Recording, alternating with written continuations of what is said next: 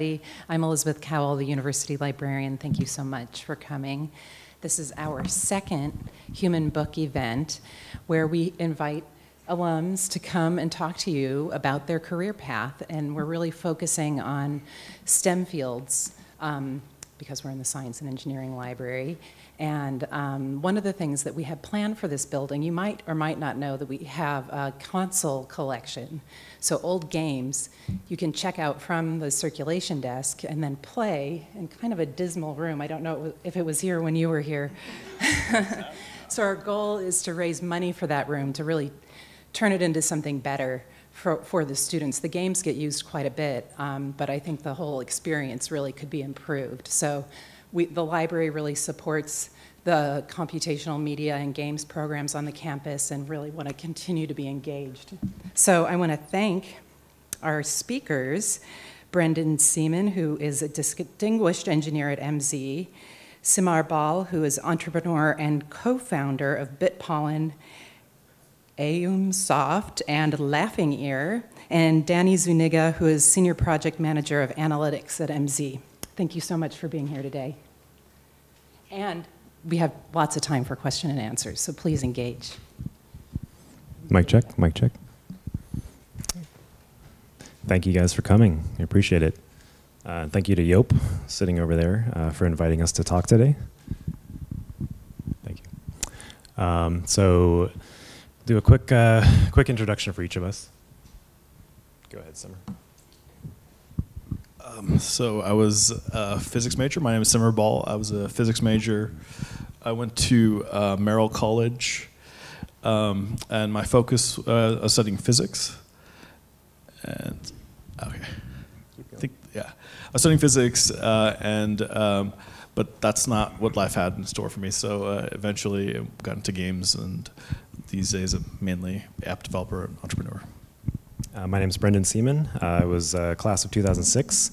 I went to uh, Crown College and um, majored in ISM, Information Systems Management, uh, with a focus on computer science, and currently a software engineer in the games industry. I'm Dani Zuniga. My graduation year was 2003. My college affiliation was Merrill. Um, I am a data product manager and work on automation for games. So a little bit more about us specifically. We'll give you a quick background about where we come from, what our life was like, uh, how our life was at UCSC, and uh, what we're doing now, uh, and how that experience has gone. Um, so I grew up in the Bay Area. I was born in San Jose. Um, lived there for actually until I came to UCSC. Uh, I went to public school most of my life. Went to a private high school. Uh, my dad was a police officer, and for the longest time, that's what I wanted to be when I grew up. Um, I, I really was uh, trying to follow in his footsteps, and I wanted to go out and catch the bad guys and, and be a part of the police. Uh, that changed drastically as I got older, um, but uh, as I was young, he was really into computers, uh, so I got exposed to computers very early on, and eventually that led me into a path to learning programming, learning how to assemble computers and about computer hardware, and so that really became a passion of mine as I grew older and through high school. Um, and you know, as I was transitioning, getting ready to go to college, uh, I chose UCSC uh, because I had a strong CS program, although I didn't really know that computer science was what I wanted to do for sure. I knew I wanted to do something in tech, so that was kind of certain, but as far as what that was, honestly, I had no idea. It could be IT, it could be programming, uh, you know, really up in the air. So I didn't decide on a major right away. I kind of chose the safe route, and I think at the time ISM was described to me in a way that made it sound like you have a lot of different options. So you could do hardware, you could do software, you could go into IT.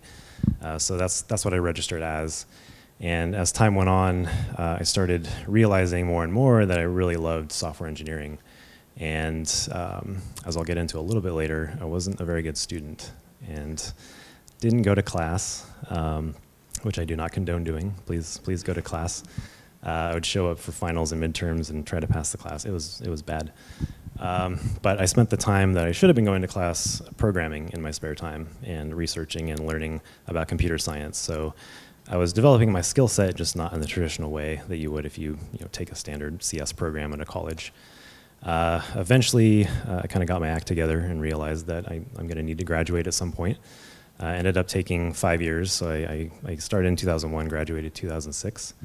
Um, and uh, by that time, you know, given that I'd been doing all this programming in my spare time, writing applications, trying to you know, get my foot in the door with games, uh, although that would come a little bit later, uh, I realized at that time, you know, programming is my passion. That's what I want to do as a career. And so after I graduated, um, started at a, a, company called Santa Cruz Games, which was one of the only game developers in Santa Cruz at the time. And that's where I met Dani and Simar, uh, who had been working there for a year or two uh, before. And that was, that was my foot in the door to the game industry. And I kind of got, got my feet wet and learned what the working environment was, life there, was like there, uh, how to deal with crunch time, uh, just basically all the dynamics of software engineering that you don't learn in school uh, and all the soft skills you need to, to be successful. Um, and then following that, I was there for about two years. Um, uh, and I was living in Santa Cruz at the time. Uh, ended up moving back over the hill uh, to the peninsula, and uh, at one point was unemployed. And someone I knew previously from Santa Cruz Games as well uh, was at a I think uh, I think GDC or some conference like that, and he met the founder of a startup called Machine Zone, um, and he was looking for engineers. And so, long story short, I ended up being the first employee of Machine Zone because my friend flagged this guy down after his talk and said, I know a guy uh, who needs a job. Uh, we interviewed at a Starbucks, and the rest is history. So I've been at Machine Zone now for almost 10 years. Um, joining that company is probably the best decision I've ever made in my life. Uh, I've worked my way up at, from uh, you know junior engineer all the way to technical director, and now my official title is distinguished engineer. And I honestly didn't know what that meant when I got it. Uh, it's kind of a weird thing to say. Uh, but basically, the, the, best way I can describe it is like a, a professor getting tenure. Uh, you've just been at the company so long that you, you, know you've reached the top of the tier, and they don't know what else to call you, so they just give you an extra title on top of that. Uh, so. Oh, so yeah, when I started, it was the three founders and myself, and we're currently at about 1,200, I think, 1,200 employees. Um, so I don't know if you guys know Machine Zone. Uh, we make Game of War and Mobile Strike and Final Fantasy for iOS and Android. Uh, you may have seen the commercials on TV or gotten Facebook ads uh, that say, play Final Fantasy now or play Game of War. Uh, but yeah, those are the three main titles we make. And we, we made a lot of games before that that a lot of people don't know about, but yeah, successful-wise, it was, it was those three titles that we're, we're really known for. Uh, so yeah, that's, that's where I'm at now. So once again, I'm Dani. Um, so I was born and raised in San Diego, California. Uh, I had a very hardworking father. My parents were separated, but I was very close to both of them. Uh, one of the things I remember my dad would always tell me was, you know, you, he would tell me you gotta, you have to go to college, you have to learn, but just because you go to college doesn't mean you're going to be successful in life. And he always drove that point home. Um, you know, as I was growing up, I wanted to be a mathematician, an inventor, a scientist. I knew it had to do with something with creating and uh, science and math. Um, but really, the turning point came one day when I was sitting in my room, my uh, friend's dorm, playing Tony Hawk. And you know, we're sitting there eating taquitos, playing Tony Hawk. I think we're listening to DJ Sh Shadow, and he says, "I have a friend who works at a company in L.A." and he does testing for games. And I was like, wait, what? And he was like, yeah, he, he tests games for a living. I was like, wait, you can make money making games? I was like, this blew my mind. Like, here I was studying like math and economics, and I had no idea that there's this industry devoted to games. So I knew at that moment that I wanted to be in games. I just didn't know how, you know. So I, I kept on route with math and economics. Um, at some point in 2002, I took um, electronic music here. That was, like Brendan said, the best decision I've ever made in my life. Um, and, you know, my experience here at UCSC is that I really felt like I grew up here. I became who I am. Um, you know, I left San Diego. I left, you know, sunny San Diego and found this place where you know it was okay to be a hippie. It was okay to care about you know eating healthy. It was okay to care about the environment. So it was like so many things that I had within me that was just fostered at this place. Um, but I really wanted to graduate. You know, I didn't want to go into graduate school. I thought I could do more. I thought I could do better for the world. I loved learning. I loved going to class. There's just something about the system that didn't agree with me. So I was like, I am going to go graduate. Like, no grad school for me. And I realized that I was completely wrong. I had so much more to learn. You learn a lot outside of school and you learn a lot inside of school, but I didn't know how much I didn't know until I actually left school. Um, and you know, for the next uh, six years, me and Simar were actually doing a lot of uh, different things. We were entrepreneurs. I started a t-shirt company. We were doing audio, but all those things really drove me and got me to where I was. And um, you know, there's a cliche that says, "Do it while you're young." This is extremely important. Life will catch up with you. You know, for me, it was the moment in 2012 when my mother got sick, and I realized I need to make money. I have somebody else to take care of. So I, you know, started applying to places, and luckily, one of my best friends worked at Machine Zone, and they needed a BI analyst, and so I joined Machine Zone, and you know that was a complete blessing in dis- disguise because those these last five years have been amazing, and I've grown a lot and gotten a lot out of just being at that place. Right. Uh, and I'm Simar uh, Ball. I was born in India. My dad was a banker at that point, uh, but eventually, after he moved to the U.S., he uh, went into computers. Uh, my mother uh, was a stay-at-home, but my, my grandmother actually is who pretty much raised me. Uh, she taught me to read very early on, and just not even just stories. She was just very into kind of learning about uh, life in uh, in general, the big questions. Kind of, she would ask me as a kid. Um, part of that stemmed from the fact that she was a, a, a like a, women's minister uh, in Punjab, northern India, helping uh, rural, rural women uh, with kind of you know just who had no resources. Um, so early on, I got just a love for just uh, books, just reading tons. And then uh, both my parents were musical, and uh, they actually met and had a love marriage in a time where there was only arranged marriages in the mid 70s um, because uh, they were they were musical, and so we always had instruments around the house. So I played instruments uh, from a very early age, um, and then. Uh, uh but, but still had no really any clue what I was going to do uh, down the line. I mean, I just had uh, tons of jobs, I, and it just nothing seemed to kind of gel until towards sort of excuse me the the end of high school. When I realized this might be the last chance that, like, going to college might be the last chance that I really have to learn something in a deep way, and uh, and all this stuff, these big kind of questions that I had, they kind of uh, coalesced into uh, uh you know studying uh, physics. Just I was just amazed that all this stuff is going on uh, around us all the time. There's these black holes that exist. There's there's you know the, the birth of the universe. How does this? we, we, you know we just kind of go about our daily lives. So uh, uh, that was that was uh, it was it was pretty much uh, the sort of this push that this might be the last time that I get a chance to study. Although now there's uh, as as great as resources are here, there's so many uh, online courses and everything. So you just you, know, you, can keep going forever. As, as, as but at that time, it certainly felt like it might be the last um, the chance to do this. And I audited a bunch of classes. I I went to Dani's classes. I went to my brother's classes. I just just uh, tried to get as much of the experience as I possibly could. And um, actually, one of the nice things by Dani was my hallmate also at that point, and that's how we initially met. And uh, he actually, uh, I, you know, sometimes it's good just to find uh, somebody who's uh, just moving along and just hit your uh, hit your wagon. So he was. Um, I, I, was never sort of, you know after graduation, I, HP had come by our physics department. They, they offered us really nice salaries, and um, uh, I thought, you know, that, that sounds interesting. They, they, they had a nice pitch for what to do there. But uh, at the same time, you know, uh, like Dani mentioned, we started this sort of very small clothing business, and it just seemed more interesting. I never thought I'd be an entrepreneur in any sense of that word. And I, I just, I just knew that there was jobs that you, you know, you go to, and then hopefully you can do some fun stuff in your own time.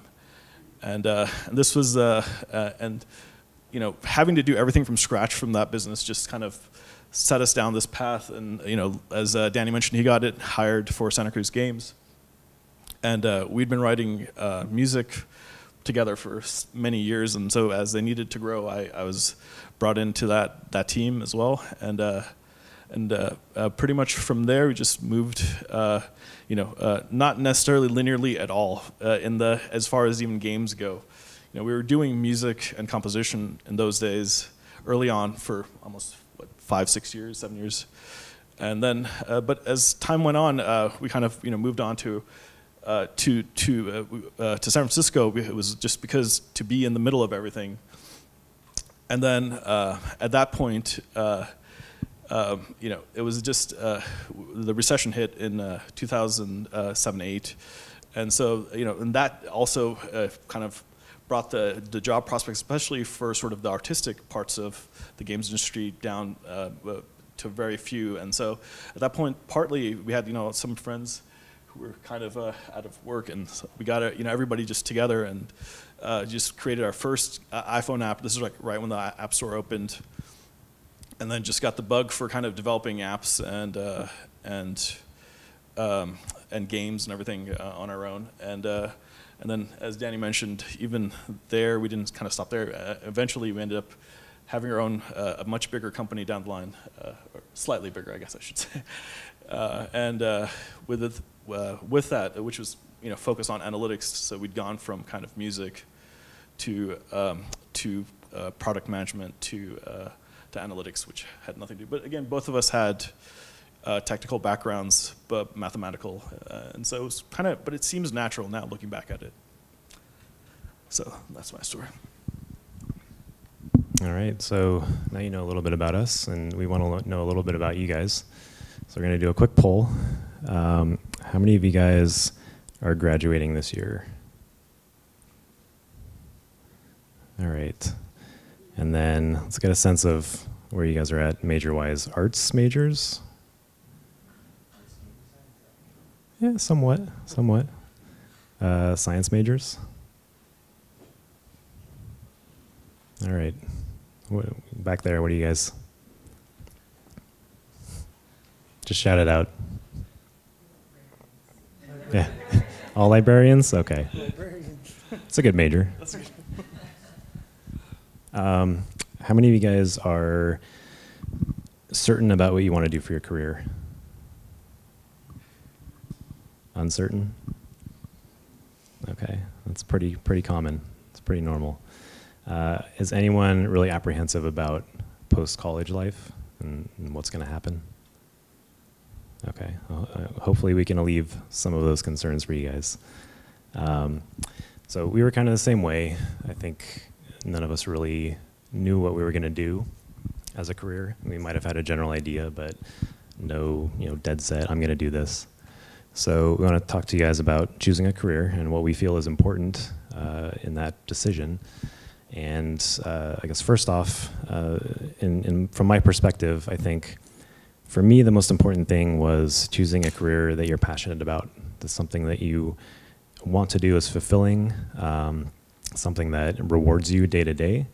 Um, because if you think about it, if you're you know standard 40-hour work week and you're working 40 some odd years, uh, that's going to be almost a quarter of your waking life spent working. And if you're doing something that is not fulfilling, is boring, uh, you know, you're going to be miserable after a while, and you, you, don't want that. It's such a huge part of your life.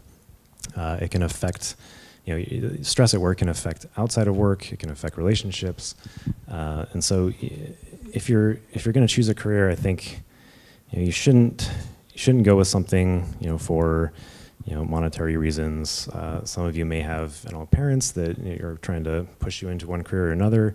Uh, you know, which I understand, and people have different situations, but uh, I really urge you guys to to think about you know what's going to be rewarding for you.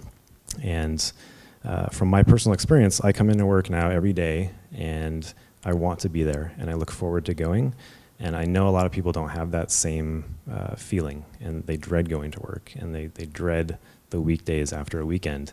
And for me, it's like the weekends and weekdays are just a blur. It's it's the same thing because uh, work is such an integral part of my life, and I enjoy doing it.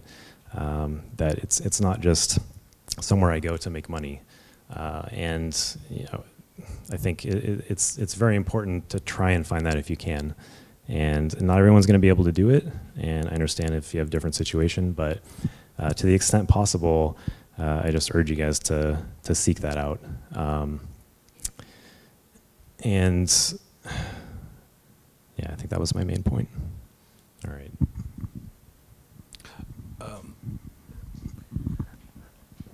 I think passion is super important. I mean, I I work with a lot of people. I've worked with a lot of people at Machine Zone. I've worked with a lot of people, and I can literally look at someone and tell whether they're passionate about their work or not passionate about their work. I know who I want to work with because they're passionate about their work. Um, passion, it's what passion is what is going to set you apart in work.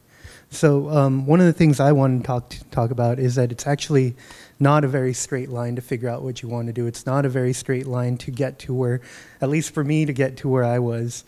You know, it's okay to not know what you want to do right after you graduate. Uh, you might discover what you want to do through certain experiences, through jobs, through meeting people. So, if you take me, for example, when I landed here in, at um, UCSC, I knew I liked math you know, but I wanted to try to explore something, so I, you know, declared linguistics, and within one quarter, I undeclared linguistics, you know, so I went straight for math at that point. I was like, yeah, I like math. I'm, I knew I was good at math, but I was like, I would say good for my high school. What I discovered here is that, yeah, I wasn't that great at math. I was a, you know, B at best, C student at math, but I loved it so much, I was willing to work really hard at it, you know. Um, I took a couple economics classes as, as, an elective and found that I was actually really good at it, economics and it was actually kind of interesting. So I uh, started a double major and you know, in 2002, again, another pivotal moment in my life, um, my roommate comes home and he, I forgot what the paper is called here, but maybe City on the Hill. Uh, yeah, he brings City on the Hill and puts it down on the coffee table. And I just see the headline says UCSC builds $3 million recording studio, electronic music program, like upgrade or something. And I read through this thing and I'm like, wow, this is super cool. Like, I love music. Like, me and Simar had been writing music, we play music, we record music. I'm sitting in like you know, these programs trying to edit music. Like this is what I do on my free time, right? So I apply for that for that program, and I remember the day that they that they posted who got in. I like open it, and I, me and uh, Simar's brother were really good friends, and you know, I open it up, and the monitor shows it, and I'm like reading down the names, and my name's not on there and then he, my friend Ricky, grabs the mouse and scrolls down, and my name's the one name that wasn't like on the monitor because my name starts with the Z. So, you know, I got into the electronic music program, and that was amazing. You know, so I was like, okay, I'm doing the electronic music minor, and like, you know. I'm five years into UCSC, and my, count, my financial aid counselor just says, "Hey, we don't give financial aid for the sixth year here. So you're going to have to like figure something out. And so I was like, well, I'm really close to economics and I just took electronic music for fun. So I'm not going to finish electronic music and I'm not going to finish math. I only have two more classes. One of them is, I forgot, it was called seminar, which is you're basically just studying something and putting it out there. And so you know, lo and behold, you would think, okay, I'm going to go be some kind of economics math guy. But my first job out of college was actually because of my electronic music degree.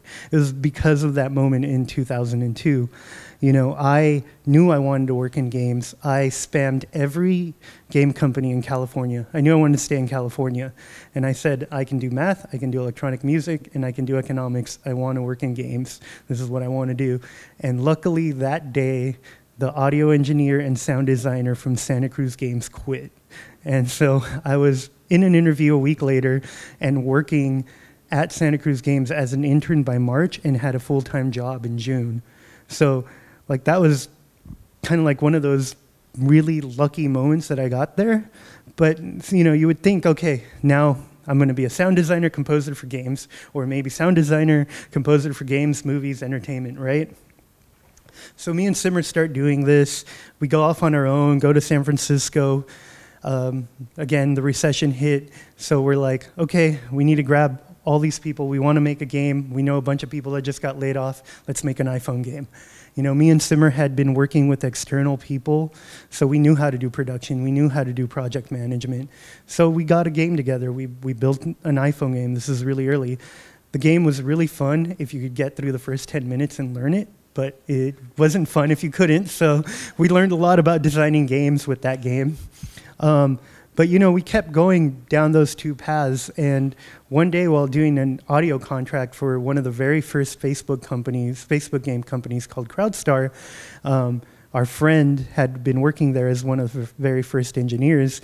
You know, we're waiting to talk to the CEO and uh, head designer, and he's like, "Dani Simar, come here, check this out." And like, he's like writing SQL queries on his computer, and he's like, "I can see how many people are logging in today. I can see how many people are buying this item. I can see right." And he's like showing me all this data they have on the games, and like at that moment it clicked. I was like, "I can be a game designer." Finally, like math, like I can use math to be a game designer. Oh my god! Like, uh, just screw music. Like I loved music, but I really, really, really loved math. So I was like super excited. So you know, we started we started trying to work in that, and at the at that point there was no analyst for the games for the games industry. You know, they had it in web. So what did I do? I became a product manager or a producer, and just used my skills and data to help. Right, and then like I said, in 2012, I needed to find a job, so I contacted Brendan, you know, and he got me in front of their CEO, and me and Simar went and interviewed. We worked there for about three months. Simar decided he was still wanted to be an entrepreneur. I decided I still needed a job. I still needed to make sure I could, you know, take care of my mother. So I stayed there, which again to me was a great decision. It, you know, I got a lot to do a lot at Machine Zone, but even there, I started as an analyst, and then I was a data product product manager, and now I'm a product manager for automation. I have designers working for me. I have live operations working for me. I have project managers working for me. So if you look at that that trajectory, how would you know that I would end up where I am right now? Like, it, it really is never a straight line. And like Simar was pointing out, it's really hard to see in front of you, and it's really easy to see behind you, and you can see how it all connects after the fact. But, you know, it's, it's never going to be a straight line, and there's going to be ups and downs, and the downs are definitely opportunities that you have to take and grow with. Okay, next.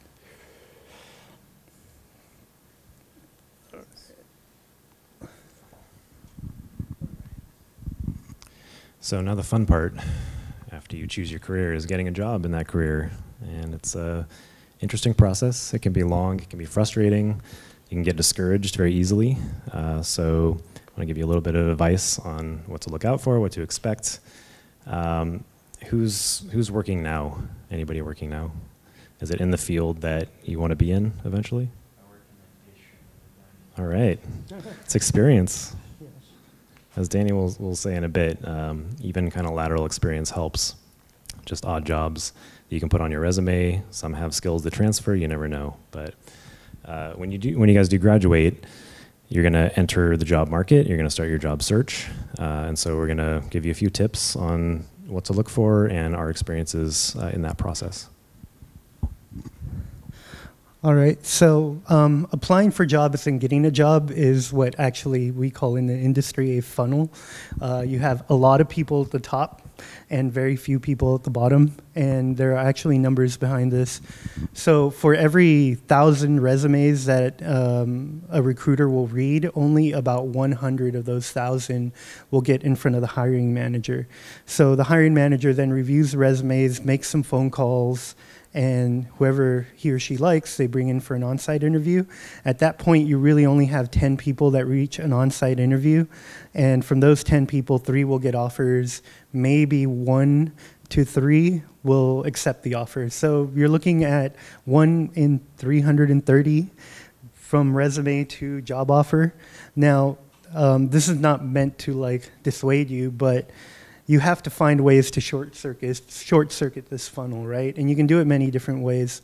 Um, the most important and most critical one is uh, networking, getting referrals, making friends. Obviously, I'm at Machine Zone because of Brendan. Um, I hired someone that I met playing Magic one day. I Hi, I referred another UCSC grad that happened to be like an amazing person at merchandising and uh, technical stuff. So he helped us build like amazing merchandising systems. So knowing people is very, very important. Um, one of the ways you can short circuit this. Another way you can short circuit this is um, LinkedIn. So LinkedIn is again really important. It's what I, it's really what is the new resume.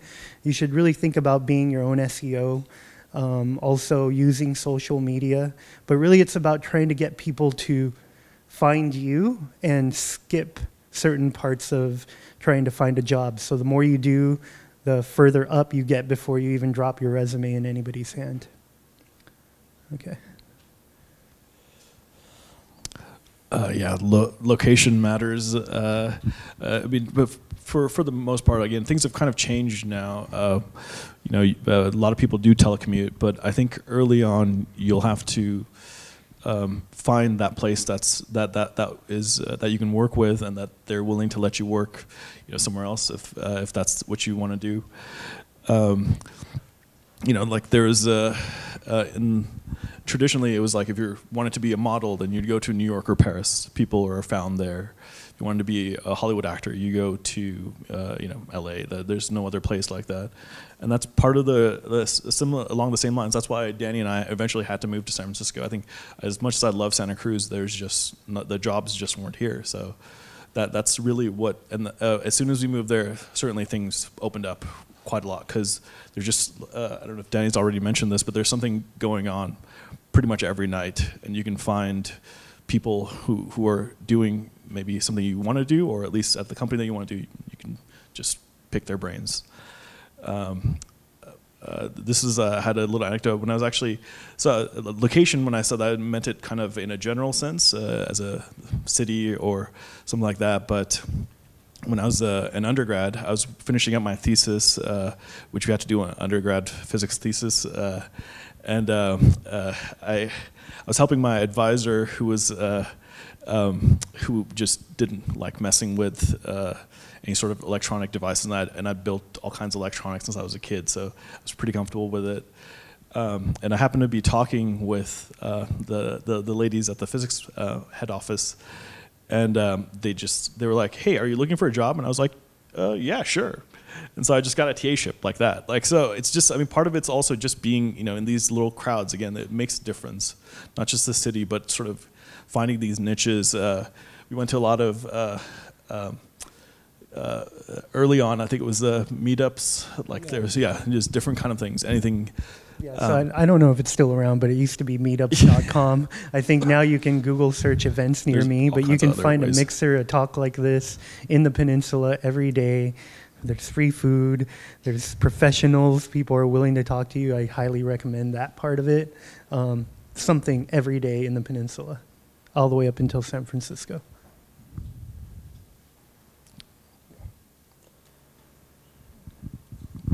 Yeah, and that's part of uh, the next piece of advice, which is to start early. So if you're going to graduate this year, or even before that, um, depending on your timeline, uh, I would suggest starting to research. Just go out, meet people, look at the companies that you're interested in or that you think you might be interested in, and understand the differences between, say, a large corporation and a startup company uh, get a sense of what it's like to work in each.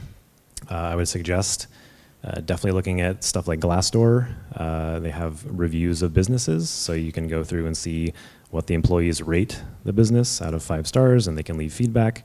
And it's usually usually gives you a general sense of what it's like to work there and what you can expect. Um, consider doing internships. So look around for some place that you can gain experience. Uh, it gets you directly into the company and you know exactly what it's like to work there because you're there firsthand. And if you don't like it, then now you know what it's like. You can look for something different. Um, and just just try to get your name out there. Try to get known. So uh, Dani and Simar are going to talk more about uh, making connections later on, and that's probably going to be the most important thing uh, that you can do for finding a job. Um, but you know, you, you need to hoist yourself up above everybody else in the pool. And you're going to come out of school, and there's going to be tons of other people applying for the same positions. And you're going to have a similar set of experience, which is typically just your degree. And you want to stand out somehow. Um, and we'll talk a little bit about that more in a second. Um, but just just have something ready and understand you know what you want to do and uh, where you think you feel comfortable working. Um, and then on, on, another side of that is uh, having some sort of portfolio. If you if you if you do something in the arts, uh, if you're an engineer, if you're a designer, have a set of work that you can show off to people, and that's that ends up actually being way more important than having a resume. Uh, I know from experience in hiring that if I get a resume in and there's a portfolio alongside of it, I'm 10 times more likely to be interested in the person that has the portfolio because I can see exactly what they've done. It's tangible. Um, yeah, I can play around with it. Uh, it's visual. And so it just gives me a much better sense of what that person is capable of versus trying to read through a resume and using my imagination. Uh, so uh, I, would, I, would, again urge you, if you have free time, uh, if you're an engineer, go onto GitHub and do some open source projects, uh, write a game engine, uh, just do something that exercises your skill set and can show people and prove to people, hey, this is what I'm capable of. Uh, you know, I have this degree, but also here's this entire other body of work that I can show off. And you're already, you know, miles ahead of everybody else coming out of school at the same time. Um, so I actually have a personal story about this uh, for Santa Cruz Games. When I went to apply, it was actually before I graduated, and I, I knew that this company existed. I knew what games they had made, but I really felt that you know, to, to make myself stand out, I needed to get in contact with somebody that worked there directly. And so I researched uh, who their producer was, uh, our old producer, Alex Noisy, who's, I think, previously at LucasArts and, and other larger companies, but he's a pretty well known guy in the game industry. So I reached out to him, just kind of cold email, and said, hey, uh, here's my portfolio, here's what I've done. I'm really interested in making games, and you know, I, I like what you guys have done. I think I could contribute uh, can I come in and meet with you guys sometime? And I kind of had to pester him a little bit. It took, you know, maybe a couple months of back and forth emails. Like he was busy, uh, but I, I didn't give up. And I, I could have just kind of given up when he didn't respond for a week or two. I mean, like, oh, bummer, like he, they're not interested. But uh, I kept at it, and eventually he said, okay, okay, like I have some free time. Why don't you come meet me for lunch? Uh, so we met up. I met some of the other people that work there, and I just kind of made connections with people, and that got me my first interview there. And so that was kind of the key was you know being persistent and continuing to reach out um, and not just letting it slip away. Like it, you don't want to apply somewhere and not follow up. Uh, so uh, I guess in, in, summary just you know be as prepared as possible and don't find yourself kind of at the end of school graduated and lost and not knowing what to do. And just try and do your research and have a good idea of what's out there and what your options are.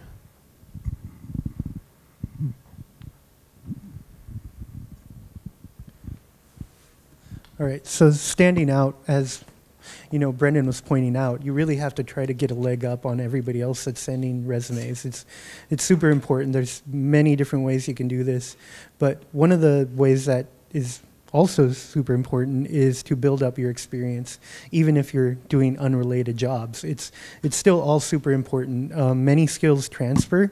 Uh, you'll be surprised at how many skills transfer. It's just really about doing stuff and improving yourself and learning from the situations that you're in and having more to show, right? You know, uh, throughout school, in, at school, I learned Photoshop, right? And then I also learned Flash. And then I learned HTML because I wanted to start a t-shirt company. I used all those things in my next jobs, you know. Um, sometimes you you wouldn't even think so, but like I was worked as a um, TA at the Children's Center down here, down at the base of campus, and I even learned from that. I learned how to, the importance of being direct and clear with people. You know, I learned about speaking in positives, making sure you're not telling people what you don't want them to do, but telling them what you want them to do. All these things are things that I use in my job, and in the end, also help in the interviews and help when I'm trying to convince people and rally people behind what I'm trying to do. Um, yeah, Simar? Yeah, um, uh, and also there's you should definitely you know tailor the resume, each resume that you make for that company. Uh, you know, just a generic resume is like a like a, just a weak handshake. Um, you really want to go in there um, showing them that you understand what they do. Uh, I mean, again, if it's games that you've played them, Uh, you know, you know who kind of their maybe main competitors are in the for the different uh, type of games that they make. Uh, their products, uh, you know, their their, their team. Uh, maybe there's someone that again you could possibly. Uh, there's a UCSC grad there that you can go talk to. So uh, it's always good to just do as much you know research as possible. Again, you should time box it so you're not spending weeks and weeks on one company. Yeah, one point on that is that, you know, it's not always necessarily about making the company feel like you care about them. It's also about having people, talking to people who are extremely busy. You know, I've read hundreds of resumes and had to call hundreds of people, and I'm literally going from meeting to meeting, reading documents, talking to engineers, and okay, it's resume time. And if I have to make the the if I there's a disconnect between the resume and what I'm doing, I have to like, you know, change my, my my way of thinking to read the resume, and you've already lost me. But if it's about what I'm doing, if it's about the company, it's such an easier connect. That cover letter is important because it connects you to the company. So that's just one point that I. It's really important. Just think about that. Think about this person doesn't have any time. How do I connect to that person as quickly as possible and show them that I care? Um, so a good example of this um, is I applied to Namco uh, for a job many many years ago, and I was about to get a phone interview, and I you know I'd played you know dozens of Namco games in my childhood, and I thought I had a pretty decent grasp of the games they make. Uh, I didn't bother to go back and review what those were, um, and then found myself on the spot on the phone interview, and the guy's like, "Well, so are you familiar with our games?" And I'm like, yeah, yeah, yeah. He's like, okay, can you name like five Namco games? And I couldn't do it. I just blanked out. Um, so I, I should have at least done the bare minimum and just you know looked over their portfolio a little bit and reminded myself what their games were because it, I came across as I don't care, like I'm not interested. I'm just you know I'm just shooting out my resume and trying to get a job somewhere. And they don't want to hear that. They want to know that you're interested in, in talking to them and interested in working at the company because they want someone that's passionate about working there. So just a, an example of where that uh, can go wrong for you if you're not not aware of uh, what company you're talking to. Yeah, and uh, again, I, we've mentioned this a few times now, and I think we'll talk about it also a bit more later. But mixers, events, um, you know, there's for games especially, there's a lot of companies that'll be at PAX, so you can meet, you know, PAX or GDC or any of the conferences that happen, uh, and just uh, going and talking with these people, uh, just so that you know you make yourself available to them. That's uh, it's the best thing you can do. One of the best things you can do for yourself. Yeah, and I talked about having something to show off, so we'll skip that. But uh, uh, in order to get there, uh, if you want to build a portfolio, uh, if you're looking for resources for that, there's lots of free software out there you can make use of. So if you're into games, you can use Unity or Unreal. I think there's you know, Unity is definitely free. Uh, Unreal, I believe they have like if you make under a certain amount of money, it's free. Uh, and then there's also many different versions of student software out there. So a lot of the creative software um, I think has free student versions, and I'm sure there's a program at UCSC still where you can get that stuff. Uh, even uh, IDEs for programming, um, you know, pretty much anything uh, that you would use uh, in professional work has some sort of student version. So I would seek that out and try to find that and make use of it if possible. Yeah, you don't have to torrent it like we had to. I think we got free versions when we were here.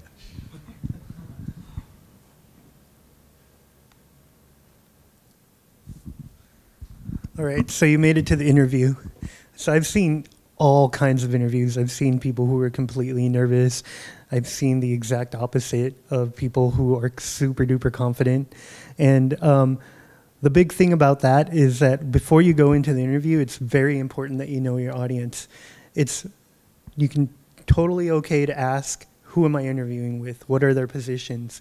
If you know you're meeting with the CEO, with the business managers, or you're meeting with an engineer, or you're meeting with game designers, right? They all care about different things. So you, you should be prepared to talk to all those different people, right? And so if you ask, they'll tell you who you're going to talk to. Um, generally, in the interview, just so everybody knows, other than just can this person do this job and can they do it well, the most important thing people are trying to figure out is can I work with this person? Um, and after that is what is this person's ceiling? You know, if I hire this junior designer, can they be creative director? If I hire this junior engineer, you know, is that are they going to be a junior engineer? I don't want to hire a junior engineer that's going to end up a junior engineer, right? So you you have to understand that it's more about who you are than what you can do. You need to pass the what you can do test, and you need to be able to do what you're telling them that you they can do. You can do, but it's also very important that you show that you're a good person, that you can work with them, that you can collaborate. Um, and one of the questions that everybody hates that you'll get is, "Why do you want to work for us?" Right? Why do you want to work for Machine Zone? Um, you have to know what people are really asking there. They're asking, are you here for the money? They're asking, are you passionate about what you're doing? And do you know what you want to do? Because nobody wants to hire someone who doesn't really know what they want to do. I know we said that, you know, the journeys goes every which way, but at every point I know what I wanted to do. It might not be where I ended up, but you have to know what you want to do and people can see through that. Um, so you can answer questions, but the best thing you can do is to have stories because stories show that you've been through it and they show that you know what you're doing. And if somebody says, uh, Have you built a game before? and you're like, Yes. Okay. Tell me more about it. They'll know you'll, you'll, your, your stories are really the key to the interview there. And one of my favorite parts in any interview is to allow people to ask questions. And for me, I can actually tell a person's character by the questions they ask. So have your questions ready. It's okay to ask the technical questions like, what software will I be using? Um, you know, will I get a computer? How many days off do I get? All those are fine questions, but asking questions about like the work, about what you will be doing, the trajectory of the company shows your character. It shows who you really are and what you want to do. Um, and one of the last questions that I like to ask that you should be prepared for is if I hired you today and let you do whatever you wanted to do, what would you do and what problem would you solve? And so that shows that the person knows what they want to do and knows what they're doing, right? So, you know, I could go in and say, I would want to be a product manager and I would want to talk to every, all the stakeholders and understand what they need and all the users and understand what they need and then talk to UX. But the problem that I want to solve is automation because I love automation. I love making people do more. That, that shows that you really do have passion. And even if they don't ask you that question, you should be really ready to give that to somebody because it shows that you know what you want and that you're passionate about what you're doing. So, soft skills. So, my current job is almost all soft skills. I am a very technical product manager. I can do analysis. I can do some coding. You know, I know data. I know some data science. But most of my day is spent with my soft skills. Um, collaboration and social skills are super important. Even the best engineers have to be collaborative. You know, um, I, what I tend to like to do is I tend to surround myself with people that are very intelligent and I sell them on my idea. I sell them. You as a designer will have to do that. You have to get the engineers to believe in you, to want to be designers as well. Um, and you know, no matter how smart you are and no matter how good you are at something, to really make an impact, you're going to have to work with people. You know, I've never seen anybody that was able to do something by themselves. You know, you might be able to like come up with the idea and you might be able to do the beginning, but there's back end, there's visuals, there's marketing, there's business. You need a team. Uh, so all these social skills matter. And the two most important social skills that I see are really trust and clout, right? And so those come from being able to deliver what you say you're going to deliver. So, you know, you tell somebody you're going to help somebody with something, you help them with something, and that develops your clout. You deliver something, and that develops your clout, but it's something you constantly work on. And gaining trust is extremely important because that allows people to keep working with you. And one of the last things that I want to point out that you is you have to socialize a lot of your decisions so, you know, you decide to use, I don't know if, well, if any of you guys watch Silicon Valley here, but there's been literally points in that show where they're like, oh, they're using, you know, nanoseconds versus milliseconds. That's a decision that somebody made that somebody has to go tell somebody and make sure everybody in the room is aligned and everybody's using the same thing. Right? So you have to you have to be ready to also get buy-in. You know, a lot of my day is spent talking to the director of engineering and trying to say, I have this idea for automation. This is how it's going to work. It's like selling them on my idea so I can get them to give me five engineers to work on my project for five months. You know, and these, and I've spent a lot of time working at Machine Zone, and I've delivered a lot of things, but I still find myself constantly trying to convince people to work with me, and it's fine. It's it's some it's part of my job, but it's also when you see the end result, it's amazing. It's amazing. Um, so there's a couple of tools of the trade that help with these social aspects of the job. One is source control. I learned that at Santa Cruz Games. So learn your source control. It's super important from with everything from documents to actual Git to things you turn in. You learn your source control. Bug tracking.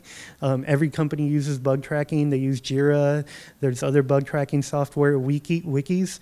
Uh, it's important to know what to write and what not to write. You don't want to write big wikis that are information about everything you need to know, but you want to write enough to where all the important points get through and if they need to talk to you they can come talk to you because like i said this is a huge collaboration. You might be able to make a game with four people but even those four people need to be able to understand what's going on. And your future self also has to know what you were thinking you know before.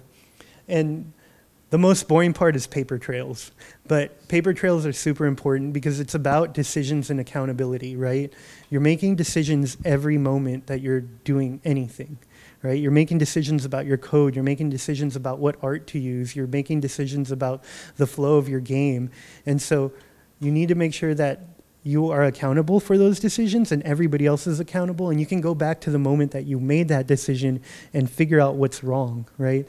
I, I review things that went wrong like once a week and just try to figure out what went wrong and then say, okay, we're not going to do this wrong again how do we not do this wrong again? That documentation and having all those, all that paper trail really helps. It's not really about blaming anybody. Um, one little anecdote that I have from my dad is that, you know, he would always say, "What's the most important quality of any person?"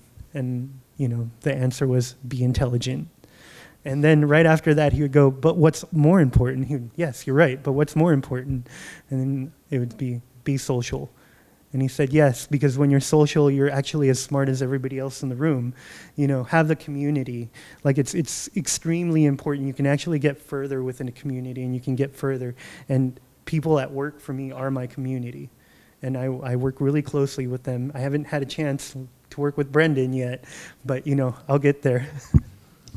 one day. Yeah, part of I think soft skills also is that again in offices there is like you will end up with some sort of politics. I think this is also where paper trails help, especially when you're starting off and you're the young person. You're going to be the easy fall guy for every problem. You know, hopefully it's used as Dani's using it to to to you know improve the process, but that there is a you know that's also something to consider. Again, with the soft skills help with sort of office politics. Yeah, so the, the other flip side of paper trails too is that if you're working for any sort of larger company, um, if you use their chat or you use their email, everything you write is set in stone and they keep it forever. And it's very easy to do something non-work related or send something that one of your up, upper level higher management people might not like or agree with, and it could end up getting you fired pretty easily. So just watch out.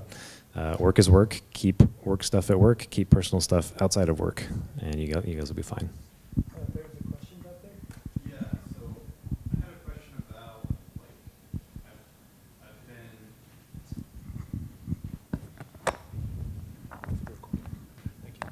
Uh, yeah, I had a question about um, in my college career, I've been involved in politics and activist work, and I'm I'm wondering because I'm looking to be software engineer, like uh, how if to incorporate that, or, or should I add that to my resume, or you know, it's a big part of who I am, but I don't know how to talk about it because you know uh, po- politics might rub some people the wrong way or Yeah, I, I think that's really kind of a case by case basis thing. Uh, it depends on where you're trying to get a job uh, and how they might view that. So, unfortunately, I can't give broad advice there. Uh, I know, you know, our company, Machine Zone, is all about keeping anything at all political out of the office and out of conversation. And so they'll literally, you know, send warnings out if they see anything political in chat or in email. Um, so you got to be careful, definitely. Um, but are, you- are you also asking, you know, are you trying to seek out a job related to that? Or Uh, are you just saying you, not you want to necessarily express just that? like i mean I, I acquired skills that you know perhaps someone might uh, you know like or want um, but you know i don't i don't know exactly how to spin that um, you know because i feel like i'm an organizer of people and i know how to deal with institutions and dealing with you know people that have different political opinions than I do, but like we still collaborate. Like I feel like there's there's skills that I could apply in different contexts, but I don't know how to spin that without alienating. Yeah, I mean that's the important part, right? You have skills. You've learned these skills. Um, bring your skills to the fore- forefront, right? Uh, I don't know what you organized, but you know, let's say you organized something. I organized hundred people to go march against Apple. You know, might not fall really well with people reading your resume, but I organized hundred people. You know, to to rally, or I use social media to do X. You know, those are things that that you have done.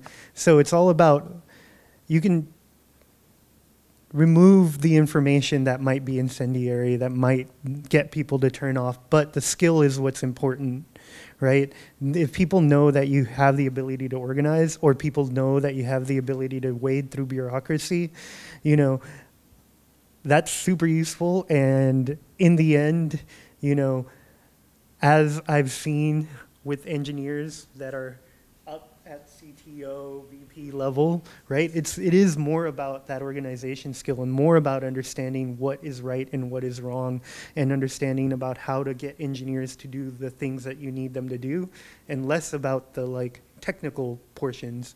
And I, I know this because I've interviewed a lot of directors of engineering, not being technical myself, but you know, I know the things I have to ask them, and I have to ask them things like, when there's an issue with your system, what do you do?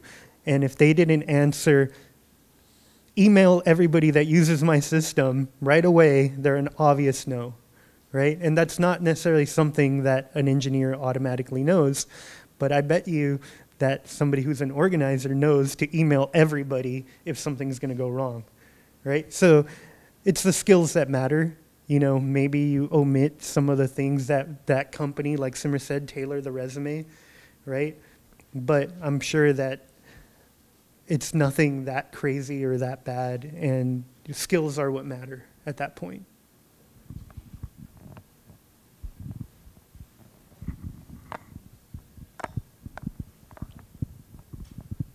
Um, I wanted to ask you a quick question about um, what was the the two things? It was trust and clout.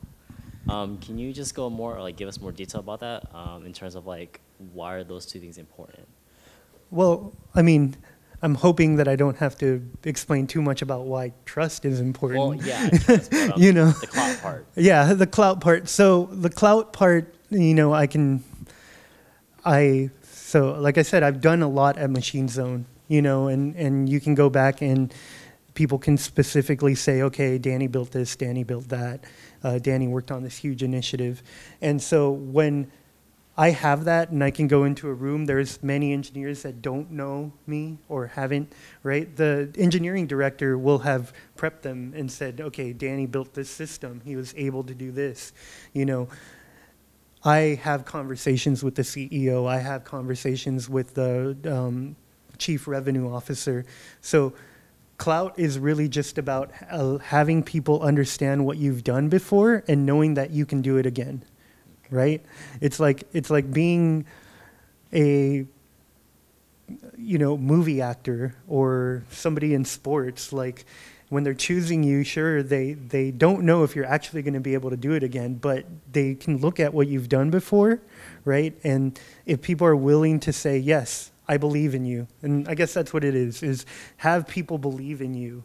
And the way you have people believe in you is by consistently doing things well, right? And delivering. So you want to deliver, and when you say you do want to do something, that's how you get trust, right? I'm going to give you this analysis tomorrow and you deliver that analysis and it's correct, that gives you trust, right? And the clout comes with just being able to consistently deliver and consistently deliver, and people will trust you and they will, again, believe in what you're trying to do. Definitely. Thank you. Okay.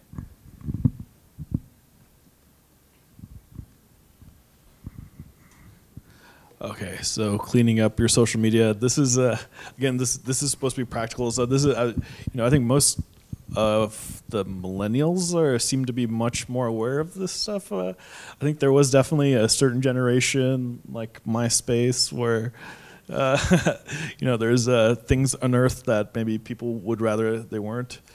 Um, but yeah, one of uh, Dani and my one of our, our, friends actually, she was a poli sci professor at UCLA, and uh, she was hired by uh, somebody who's uh, basically worked uh, one step away from President Obama, and she was she was right underneath that person, and she was mainly hired just for uh, making social media policy.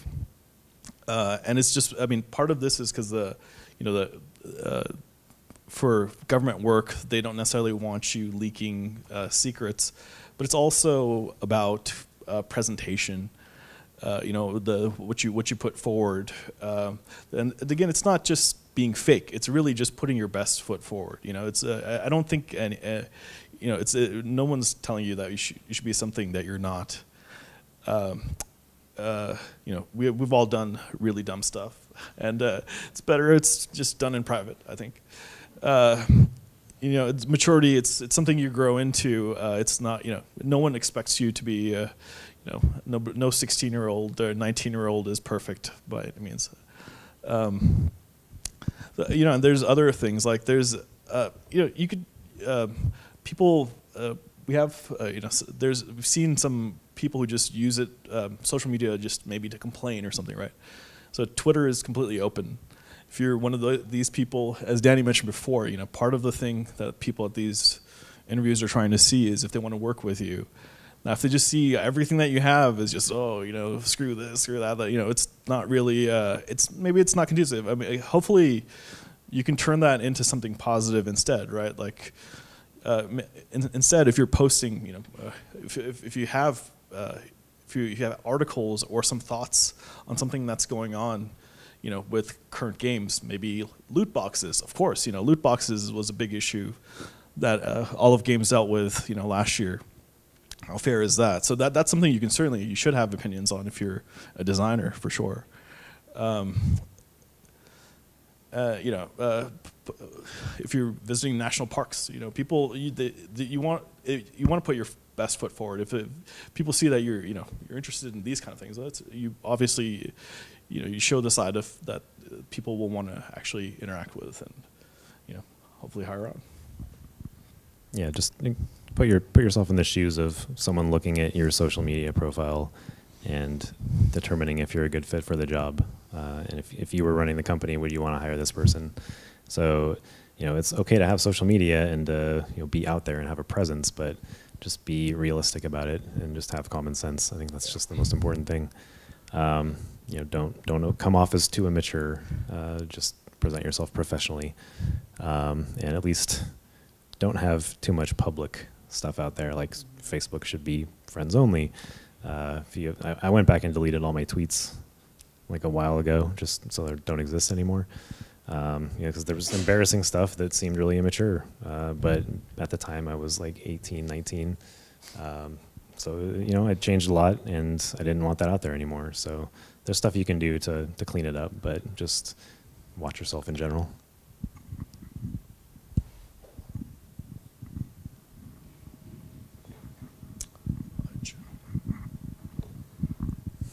So you've chosen a career, you've found a job, and now how do you be successful at that job? And that's the journey part of it.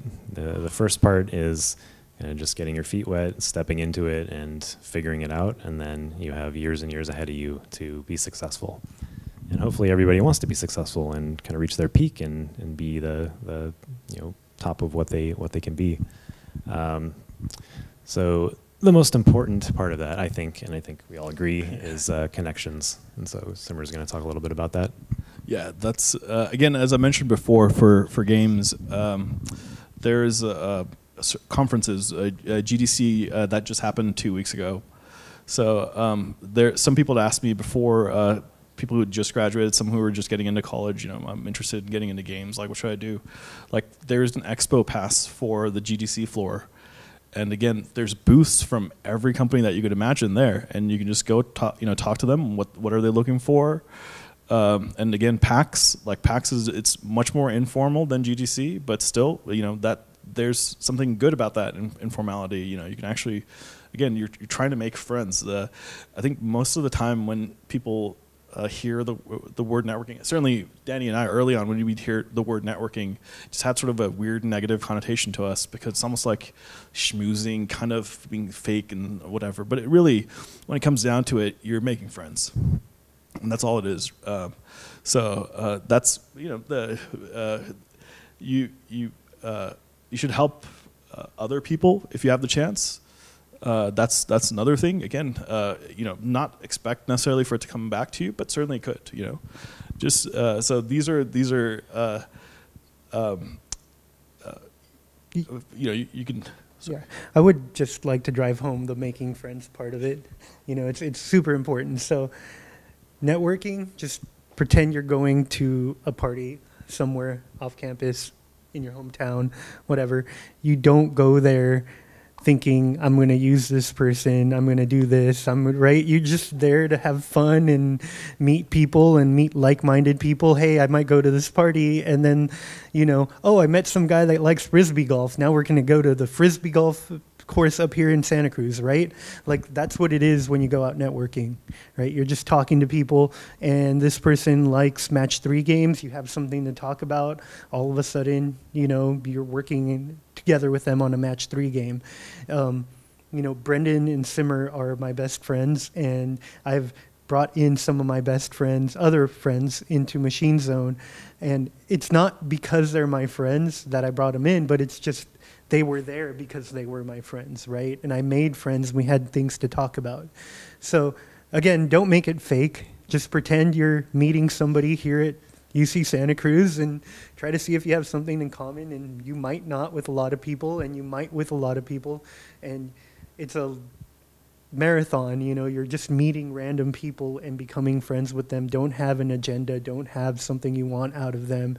And just like we're with your friends, like Simar said, help them and it'll come back. It'll pay it forward, I guess.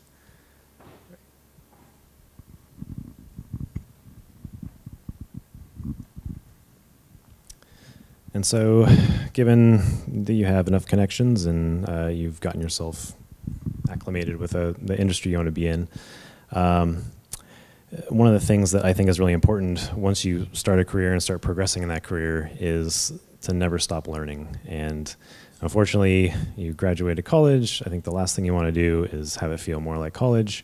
Um, but when I say never stop learning, I don't mean you know taking more courses and going to class.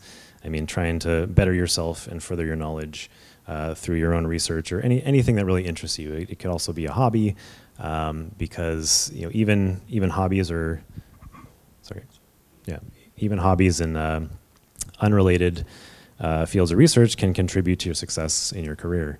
And so, uh, in my career, I, I, intentionally try to, to seek out new knowledge. I try to learn new technologies, uh, new programming languages. Um, I go, go back and review computer science uh, when I want to refresh my skills. And so I just try and keep everything sharp.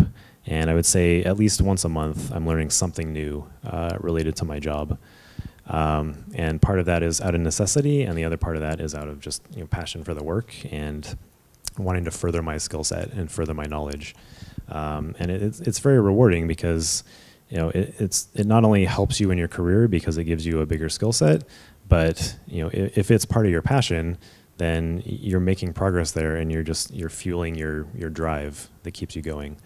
Um, and as you learn more, I think one of the things that's interesting is um, you start feeling less intelligent the more you know, and it's something that I've definitely recognized in my career. Is I started out um, probably a little bit too cocky for the level I was at, and you know I thought I knew a lot, and I didn't know a lot, uh, but I I didn't know what I didn't know, and as I started to learn more, I started to realize, oh, there's all this stuff that I I don't know about, and now I know that exists, but I don't know about it. Uh, and it's kind of a scary feeling because you feel like overwhelmed and like the, I'm never going to get there. Uh, but it, what it really means is you're just getting smarter, and now you actually have more knowledge that's going to help you to do the right thing instead of the wrong thing. And so now you don't take on a huge project and then get lost because there are a bunch of unknowns you didn't know about. Now you know about those, and you can avoid them or circumvent them and do the the better method or the the, the easier method. Um, so just know that you know if you start getting that feeling of oh I, I don't I don't feel as smart as I should be like it's probably a good thing that you're feeling that way.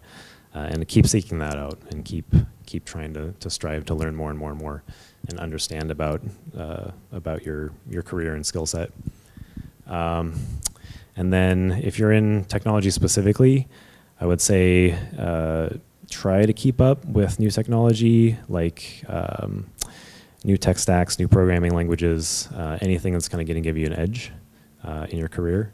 Just you know, read articles, read white papers. Uh, there's there's universities doing research in certain areas. Um, actually, just a couple weeks ago, I found a white paper that totally applies to something I was thinking about, but really hadn't developed fully in terms of what I wanted to do with it. But I found a white paper that some university was working on that completely matched uh, what I was thinking about, and so that really helped me along. And now I have much a better idea of how I'm going to go about doing this thing. Uh, so there's there's lots of resources out there that can help you progress um, that you you really wouldn't get if unless you're seeking it out. Okay, sorry, we just lost the connection. Yeah, we're having some technical difficulties. Sorry. Keep going. Yeah. I don't, I don't think you need Wi-Fi for the video. Do we have the slide? Yeah, that's what I just learned. Right.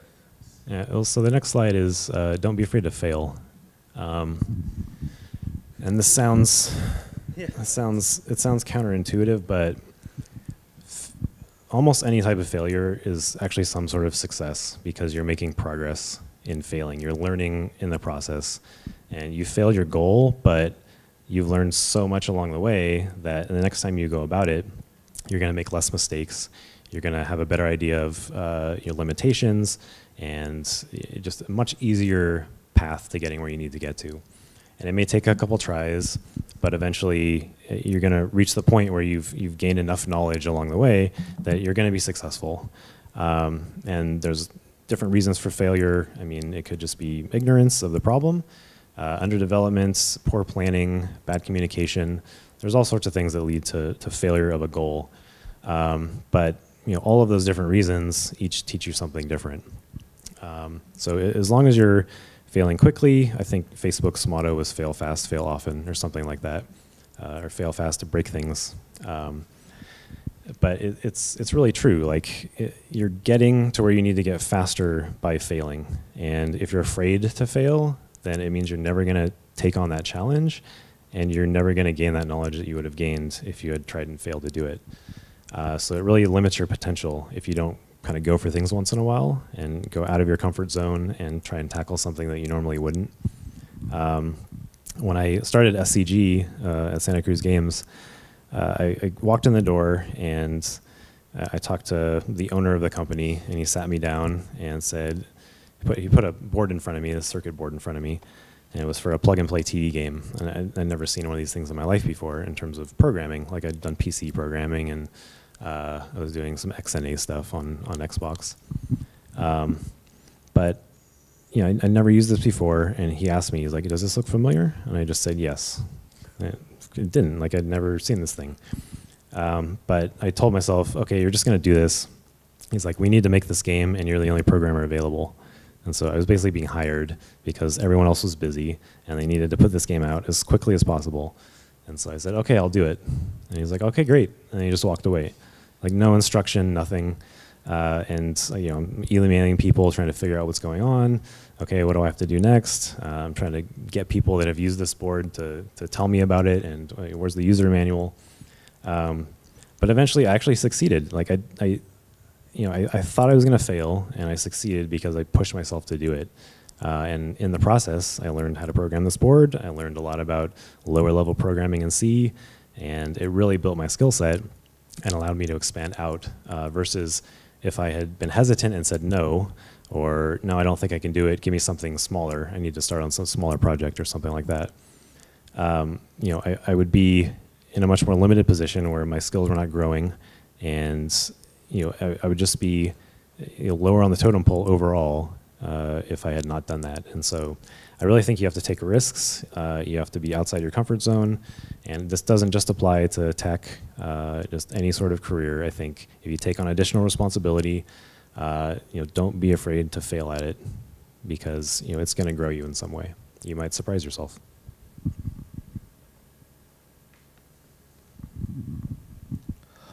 Um, and uh, for you know success, it's, it is about the the the uh, the long haul, the big picture. Um, so you got to make uh, you know set set aside some time to reflect on these things. Uh, are you going in the right direction? Again, once you've gotten your first job, maybe um, you know paid nicely, but maybe it's not what you want to do, or maybe it didn't pay so well, so you want another one that that will, or um, or you've you know changed in that time. You know certainly as you as you uh, get older, uh, th- things that you enjoyed. Uh, you know, when you're younger, uh, I played around in, lo- in a lot of bands growing up. It's certainly not something I'd necessarily want to, you know, go on a touring schedule now, at all. So, um, you know, th- these kind of, um, but it's uh, you know, um, always you, you have to kind of keep reevaluating. I mean, I think this is not just the you know the the Maslow came up with something great here. The you, there's there these kind of lower things when you, you start getting into deep into uh, you know crunch time, which happens kind of uh, certainly in tech quite often. Um, and uh, there, you know there was uh, we we made a game a, a Superman game in 2006.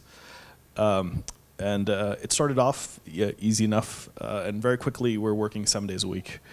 And and there was a, a point at which a few months after that, where uh, everybody started to develop an eye twitch.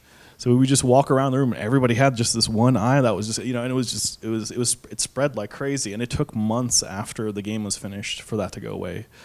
You know, just so much kind of stress and that. So uh, uh, if you keep doing that too long, again, it's just you'll burn yourself out. You know, I, I started getting migraines, and I noticed that it's not when I'm necessarily making music on my computer, because you know with that, you're maybe kind of listening and you kind of close your eyes maybe and play uh, keyboards or whatever. Um, but when I'm coding, certainly I'm just looking at the screen and I'm just thinking about what I need to do, and and I can just get lo- lost in there for hours, and you know, 14 hours have passed or something.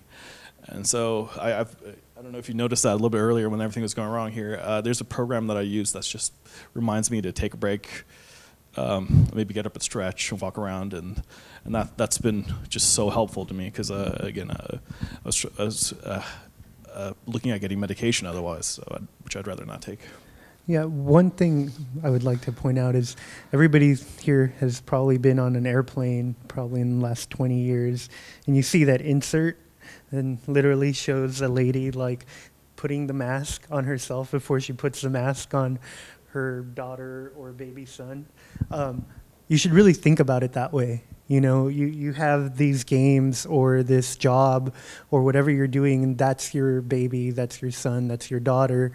But if you don't put the mask on yourself first, you're not going to be able to put the mask on them. And that's what, that's what taking care of yourself comes out to. You know, I'm always a big proponent, at least for myself, to get enough sleep because I've seen what people do when they don't get enough sleep. You know, I've seen mistakes that have cost way too much money because somebody really needed to get this done and they kept working and they kept working and they kept working and as Simar said i've seen people physically uh, make themselves ill because they're working too much. But really, you have to understand that you are the most important thing in this whole equation, and you're actually the thing that makes everything come out, right? Without that, it's without you, it's not going to go along, right? Okay, sure, maybe the company will keep working, but your whatever you're working on needs you, so you have to take care of yourself.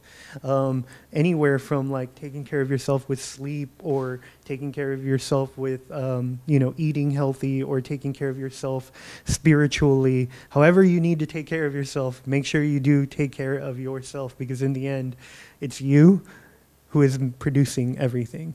So it's just very important. Self care is super duper important. Don't let it go. It will pay off in the long run. I know, you know, not to be cliche, but I was young too. At some point, I was like, whoa, life is like now catching up to me. I have to take care of myself. If I don't take care of myself, I can see like death running after me, and I'm like, walking, right? And I need to run a little bit faster today. And so that's, that's what it's about. You need to take care of yourself so you can take care of your family, your projects, and everything that you need to take care of. But yourself first, then everything else. Yeah, uh, so we're only in our 30s, and we're already talking to each other about our joints aching and our backs hurting. So just just watch out. It comes much sooner than you expect. Uh, you're gonna wake up one day and you're gonna you know throw out your shoulder by sleeping wrong, and it's uh, it's just all bad. So definitely definitely take care of yourself. Uh, for me, it was going to the gym. Uh, that's probably the second best decision I've ever made. I know Simar goes out running a lot, goes on walks, uh, just gets outdoors quite a bit. You know, anything that's gonna just de-stress you and uh, take away the the day-to-day um, uh, stressors that really add to just overall health uh, degradation over time. So. Yeah, and that can be also actually. I was going to mention that uh, one of the things that happened after Dani and I moved uh, to San Francisco was there were these mixers and events going on constantly, um, and a lot of them have free booze. And so it's very easy to get into that cycle as well. And I learned very quickly you kind of want to limit, like maybe a couple of days. Okay, that's fine. And the third day, you, you know, you can choose not to drink if, if you have, you know, there's there's things that you have to kind of keep up with this, uh, even on the on the fun side of it. You got to temper that a bit as well. Yeah.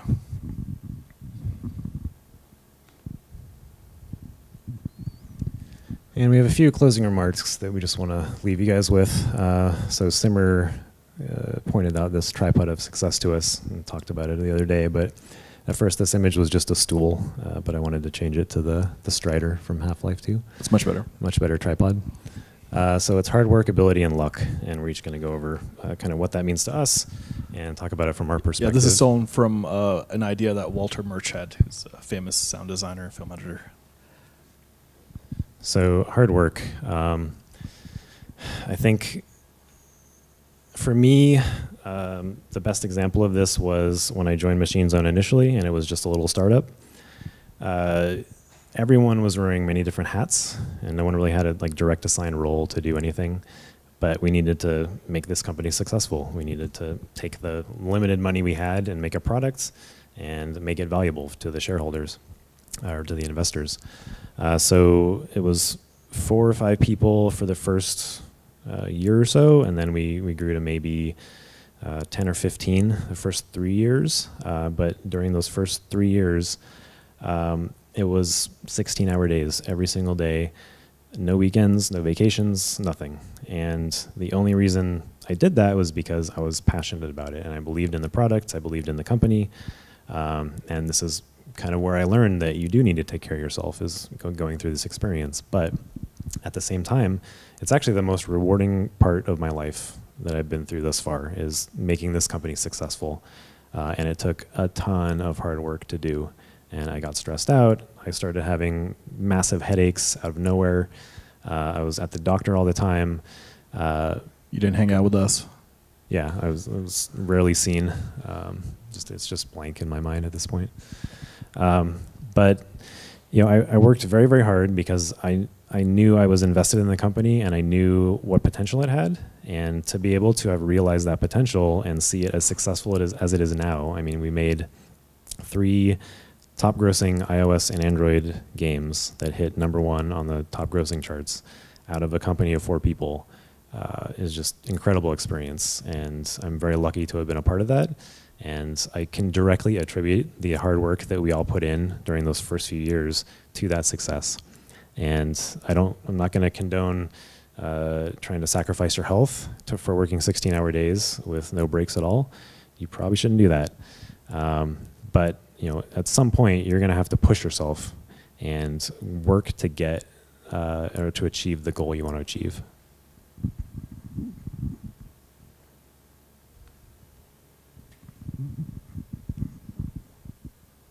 So, um, yeah, the next one, uh, the, oh, sorry. Uh, yeah, I just had a question about um, yeah dealing with crunch um, because I mean if you're working 16 hours a day, I can imagine at some point you hit uh, you get diminishing returns, and then you're actually probably like uh, you know yeah it's probably uh, having a negative effect at some point. Um, like wh- where do you draw that line? Like how how do you figure that out like you want to show that you can work hard but like physiologically like you have to take care of yourself otherwise yeah you're just going to start making mistakes and probably going to be more of a liability Yeah, that's actually a great point, and actually now I feel bad for not talking about it. Um, so at this point, I think all three of us recognize that there are diminishing returns uh, just from having experienced it, and uh, Santa Cruz Games this happened, early days of Machine Zone this happened, um, and you know it was out of necessity at the time, but uh, doesn't discount that yes, we were probably making tons of mistakes, and I, I think we can attribute a lot of those mistakes to staying up way too late, working way too many hours. Um, and now, personally, like that's why I don't do it anymore. Um, I- I think the threshold is probably a day or two of that, and that's that's it. Like after that, you're just you're not effective at all. Like if you're if you're getting two or three or four hours of sleep a night, uh, you're not going to be refreshed. Your brain's not going to be uh, working at 100% capacity. So uh, usually when we encounter that, um, you know, I think everybody at the company now understands that that's not realistic anymore, especially at the size that it is, to have expect everybody to do that. And so um, we, we now have like on call and shift working and things like that that help alleviate that problem. Uh, whereas before we just didn't have the resources to do that. Everybody kind of was forced to, to work that much. Um, but yes, I would totally agree that you're completely diminished capacity when you're when you're doing crunch time. So it should only be in short spurts as needed, and you know sometimes it's unavoidable. I'll definitely say that. Like you have to get a product out the door the next day or the day after. Like you're gonna have to do it, but as long as it's only for short periods of time, I think it's okay. Yeah, uh, I mean, I found uh, like with certain times when you're just trying to finish, get just get something just to the point where it's done. You kind of just naturally do this a bit, or I, find myself doing this, because uh, sometimes when you when you are sort of doing the you know uh, eight hour schedule, okay, I'm done for the day kind of thing. It's it's hard to really kind of like say with writing music, I mean, or, or anything, you know. But just, sometimes you just kind of have to get it to that point. And again, uh, like Brendan said, I think if it's more than a few days, then you know you're it's going to be tough to keep that up. So one of the um, early IT people at Machine Zone got me into sprint running, and he was teaching me how to do sprint running. And we he had this this method of, you know, you do a half mile jog, and then you sprint for a quarter mile, and then you walk or jog the next quarter mile, and you do that four times.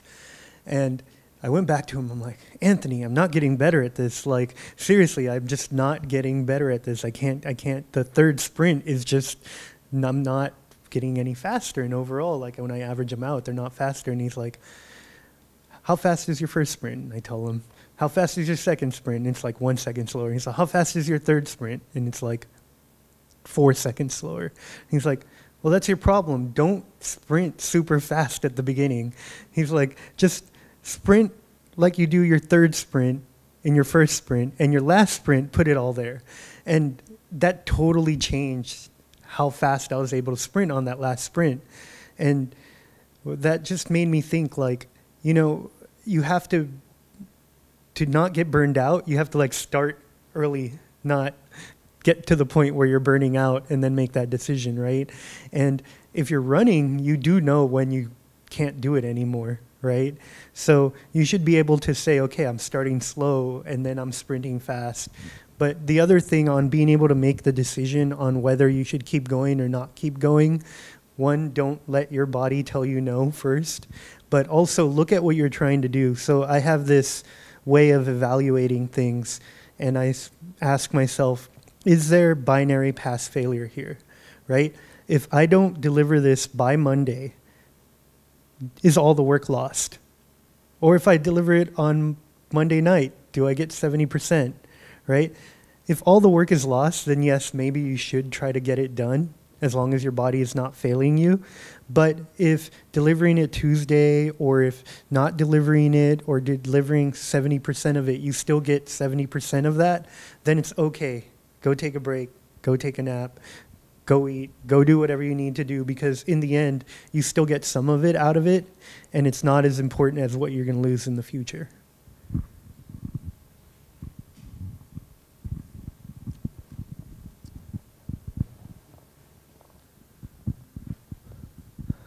Uh, so the other one of the other legs is uh, talent, and that's I think it's uh, again for success hard work. You kind of hard work and talent sort of. Uh, I think there's a uh, you know a lot of times I've noticed with my friends who are musicians kind of growing up, there was always a time where they would just kind of lock themselves away and just work at whatever their instrument was, and then you know they kind of come out of it sort of proficient uh, at a different level. And I think if you if you you know and that that's uh, it's a it's that hard work that you put in, but if you don't kind of have some natural talent and this inclination, then it doesn't really it's hard to get very far with that. So you you know it's uh, uh, there's a there's you know uh, people people think that uh, you know some you know some some people are certainly born genius. I've met I've met a few in my in my time now who are just they're I don't understand how they have these abilities just completely naturally. But I think for most people, there is this long sort of time that you have to spend that ten thousand hour rule, um, where where you're just working uh, you know on whatever it is that you're trying to hone and uh, again, having that natural ability, I think uh, you know you can. If you're if you're a horrible singer, hopefully you know you'll you'll you'll see your video of uh, at some point or hear this and go, man, maybe it's not for me, maybe. Uh, and but for the most time, I think if you've gotten to a certain uh, place with this stuff, then you've had some positive reinforcement with it. Um, yeah, and so I think that there is a bit of this kind of uh, in the town. There is a bit of this sort of devotion and uh, you know this natural inclination that plays into into into this part of uh, this third of the tripod of success. Yeah, so this one tends to be like the one I hate and love the most. Yeah. And I hate it because I'm a math major and you, you math is certain, right? Math is certain. Okay, you can have probabilities, but it's certain. It's certain. And I hate the lottery, right? I kind of like poker. You can tell, like, I don't want luck to be a factor, but luck has been a factor in my life so much. And so, what I realized, you know, when people would say, oh, good luck, I'd be like, well, you should just say good skill, right? like, but what, what I realized what luck is, is luck is everything out of your control right? When you're playing a board game or a game and that deck of cards is sitting there and you shuffled, you've given away your control to that deck. Everything in your hand is what you can control, and the way you play it is what you can control. But your next card and all the things that everybody around you is going to play is out of con- your control, and that is the luck, right? Does that person have the ace? Does that person, you know, is that person going to play really dumbly and it's going to like make everything go wrong for me, right? Am I going to like walk out this door and have a meteorite hit me? Like these things are all out of your control, and so what I have to say about luck is you know, be prepared. Be prepared to receive luck. When things appear, be prepared. When I saw that article and I read it, I was prepared to go and apply. I was prepared to change what I was doing, right? My roommate picking up City on the Hill was the luck part of that equation. Um, also, be open. You know, be open. Put yourself in different situations. Don't say no to anything that's not really going to hurt you, and that will put you into situations in which you can be lucky. And I think the most important part about luck is that it gives you hope. Luck gives you hope, right? Like I can be losing, completely losing. I don't know how many sports fans are around here, right? But you can be completely losing and because of luck, you get that one out, right? That gets you there and then you win the game, right? I've had that happen so many times. I've had it happen so many times. Actually, when um, I was looking for jobs, I didn't even think about emailing Brendan or talking to Brendan. I knew he worked at, which at the time was Admired, right? And I'm looking through it and looking through LinkedIn, I believe, and it said Admired, and I know, like, my brain was like, what? What is Admired? I know something about Admired, and me and Brendan like had known each other what for six years at that point. We hung out maybe once a month. Before then, in Santa Cruz, we were seeing each other every day. But for some reason, Admired didn't register.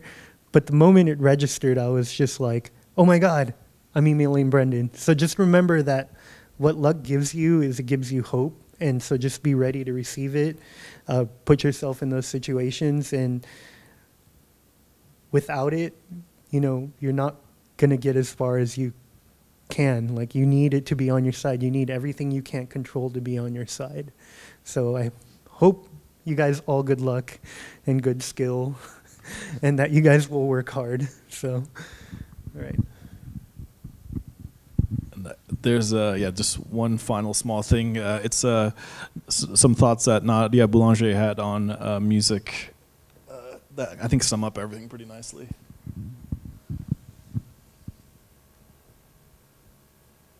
Us, is mystery. I don't know why I love music. I don't know what music is.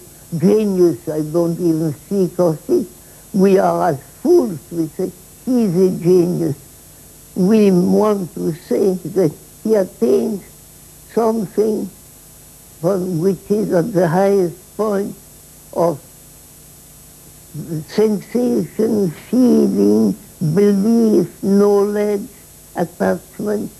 It's a very important thing, and it's why when you are teaching, you are very concerned. Have, have I not encouraged too many people? That's the only thing you hear.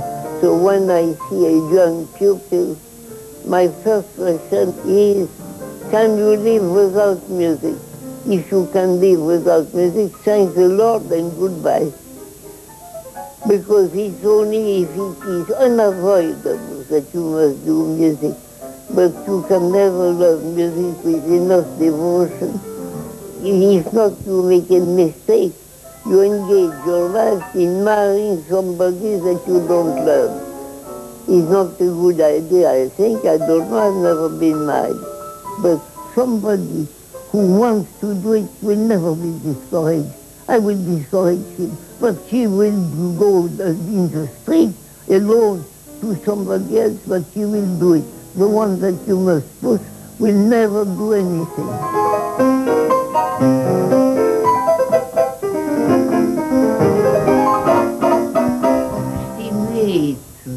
Repetition on FD, which I would play with little, I would not make the diminuendo so slow, so soon. Play from. All right, so that's that's all our advice to you guys. And now, if you guys have any questions for us, please feel free. Uh, we're happy to answer them, uh, and we'll be around. We'll stick around for a little while afterwards. If you guys want to talk one on one or anything, uh, feel free to come up and chit chat for a bit. thanks.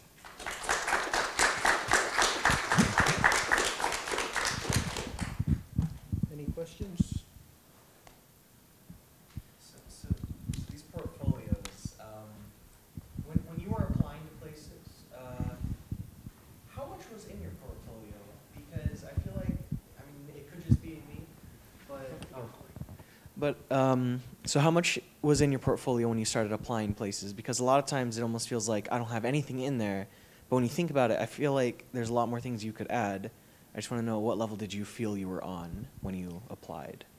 Sure. Um, so for me, uh, I had done, I had actually been trying out a couple different disciplines. So I uh, was trying art for a little bit. I'm not a good artist, I, I realized, uh, but I did have some random art that I'd made. Um, I was doing 3D modeling um, and then mostly programming aside from that. So I had made a couple applications. So I had a, a Java application um, that uh, allowed you to chat and file transfer. Um, I had two very simple puzzle games that I'd made, and then a couple 3D models and some some various art pieces. So I think I had probably three pieces of source code, like full full full applications that I could show off, and then kind of a spattering of other stuff. Uh, you know, the thing is, again, since uh, if if you have um, any experience in, like, if you've messed around with Unity at all, have you tried that? Um, well, me and my roommate, we just bought a game design studio type thing. We all chipped in. I'm doing some sound design for his game that is uh, kind of like a spin on asteroids, like with a twist. Uh, also, Space War, because we learned about that in class. So I'm doing a lot of the sound design for that with uh, inspiration from vaporwave, actually, and retro music. Um, and so I've been I, I put together a few pieces for that in about a week or two, and I've a little bit of art, but I'm not a good artist either. So Uh, oh, yeah, again, if you're if you're not showcasing the art, so don't worry about that. I was just gonna say, just make sure that you can even take a lot of games and show like, hey, different tuning to this same game plays out like this, and I, and here's what I've done to show that. Like, I understand how this works. Um, one thing about portfolios, and I know that, is like you don't want to make it that super big menu that they have to like read through and don't know what they want to see.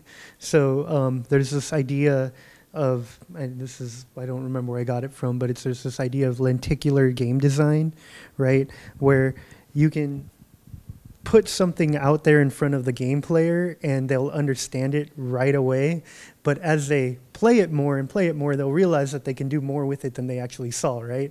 So your portfolio should be that. Your portfolio should be really easy to engage the person and if they decide to keep going, then they can play the game. Then they can like go into your source code, right? Definitely put what's most important and what's about you at the front, but you have to like draw that person in and not scare them away with like here's the big box of stuff that you can like start looking through. Yeah, you got to bowerbird that stuff, make that pretty house.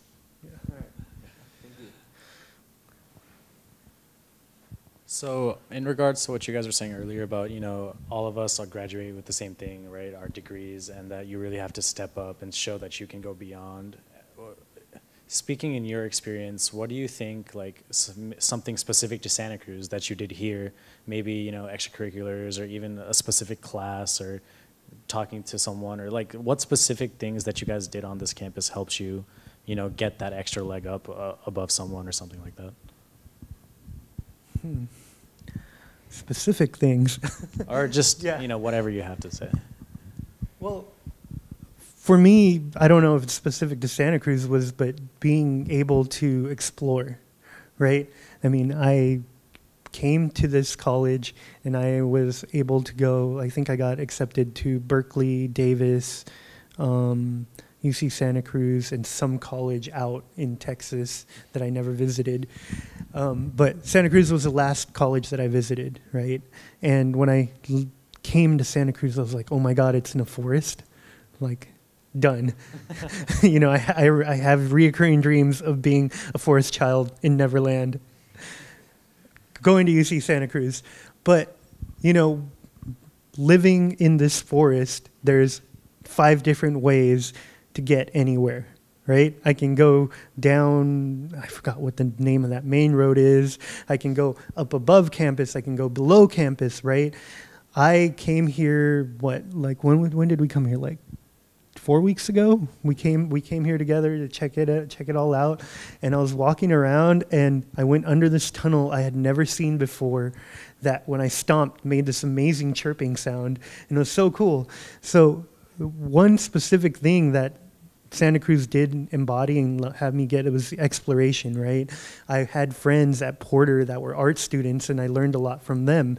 I had friends, you know, at Merrill who were very into activist activism, right? I met uh, my first vegan here, you know, like all these things got me like got me learning, and so I think the the like feeling of exploration and openness was a very important part of Santa Cruz, you know. I don't know about other colleges, but you can audit classes. I don't know if that's still true, but you can audit classes. Oh my God. I went to Simar's Colloquia and learned about string theory. Like that was like amazing. I had no idea we had 11 dimensions. Like, the, you know, how now I know how math applies to, to physics. So just that exploration, that openness and the openness of people here. Again, I don't know how the same it is, but you know, the hippiness, the openness, the nature, like all that was really important to, again, how I got where I was and who I became. Uh, I think for me, it was more in terms of practical experience. So I ended up taking, I think, a couple of the higher level CS courses. I forget which ones they were, but they had uh, final projects that were game related. And so the goal was to create a game, like a finished product. Um, and uh, that gave me actually a lot of the experience that I needed to get my foot in the door at Santa Cruz Games because I had kind of tinkered here and there with like really simple games before that, but I'd never kind of gone for it with an actual team and work with a set of people with different responsibilities and then work together to create a final product um, that was you know playable and fun to fun to play. Um, so that I think was kind of the bridge that I needed to make the, the final decision as I was, you know, realizing I was really interested in programming and I wanted to be a software engineer to knowing that I wanted to be a game programmer, you know, game software engineer. Um, so, you know, using those types of classes as a resource, I think is good. Uh, joining any sort of like external organizations, like I think they have a couple, um, I think ACM, a chapter here or something like that that you can join. Yeah, Um, definitely. Yeah. So stuff like that that uh, kind of gets you a, a basic community that you already have connections with. So you know, coming out into the workforce, you you already have people that you can talk to and interact with and get referrals from. Uh, just making use use of any sort of those types of resources, I think, is valuable. Thank you so much. Um, so I'm. Um, this will be my last quarter. I'm a master's student in computer science, um, and you've mentioned a bunch of stuff that I could be doing, but I'm I'm really at the end of the line here. So I'm like, what I've done, like, pretty much what I have is what I've done, and I don't really have time to do really anything else except you know, finish my last class and wrap up my master's project. And I haven't applied for any jobs yet, so I'm sort of forcing myself to start thinking about it. But I'm, I'm wondering how best to proceed um, given where I'm at. And um, yeah, I'm really trying to find either an internship or a job this by this summer because I don't have a lot in savings, so I don't so I have a pretty tight window of opportunity here. Um, are there places that you'd like to work? Um, like companies or just look. Yeah, companies or is, is it? I mean, what have you? What kind of a job would you envision? I mean, what, what would you like to do ideally? Let's say. Um, yeah, I mean, I came here because I wanted, I was interested in wanted, wanting to do game development, um, and I'm I'm still interested in that. Um, I am a little worried about crunch time because I have health issues, so I really can't work, you know, 16, 12 hour days. Um, and um, and I, I've done some, um, like I've made, you know, little small games by myself, like in Unity, um, using a tutorial, but like um, wasn't part of a tutorial, but I like ported this um, VR basketball game to Gear VR, um, and so I had to, you know, do some importing and write a little bit of code and whatnot. Um, so I'm still interested in that, but um, you know, I could also see myself doing other areas of software engineering, and um, I'd I'd like either to stay in the Bay Area or move back to Austin, where I did my undergrad. So good news. Yeah, yeah, exactly. uh, the Bay Area and Austin are pretty much like the big hubs. Um, secondly, uh, you've built some stuff, so you have something to show. Uh, VR is exploding right now. There's tons of VR companies, uh, so many so that um, there's tons of VR startups that. And the thing about startups is that they don't um, get the best engineers and they have to actually they're in the same situation that you guys are in right? When you're a startup i'm like they're going to go to you and be like hey um, i can't pay you as much as everybody else but i got this really cool idea. And you're like well Equity. i'm not as good as everybody else but you know i'm going to i do know how to do engineering. So I don't think it's as bleak as you think it is. It's, there's a lot of opportunity out there. And the other thing is there's a lot of people that will pay you for things um, in general, right? They will, they will literally, there's somebody that needs your skills, especially as an engineer today. It's just about finding them. And um, that might actually give you a little bit more runway. You know, you don't want to trap yourself into that hey i'm doing jobs making flash websites for five years. Like no don't do that. But if doing a flash website for somebody for the next month will get you another summer do it. It'll it'll get you there. But again just go to the peninsula type in vr into um, vr events into google. Maybe they're kind of weird because they do them near you so you might have to drive up to you know palo alto and say events near me vr and then you'll get a list of events but they're all over the place like and you'll find startups you'll find people that want to effectively give you a chance Yeah, and there's no reason to assume that you should necessarily just be doing an internship. I mean, if you have experience, then apply for, you know, either an entry level or whatever you feel like you could manage. There. So have some confidence. Yeah, I've done this before. If you kind of want to leave your options open, I would suggest starting to look at one of the more established companies like Microsoft.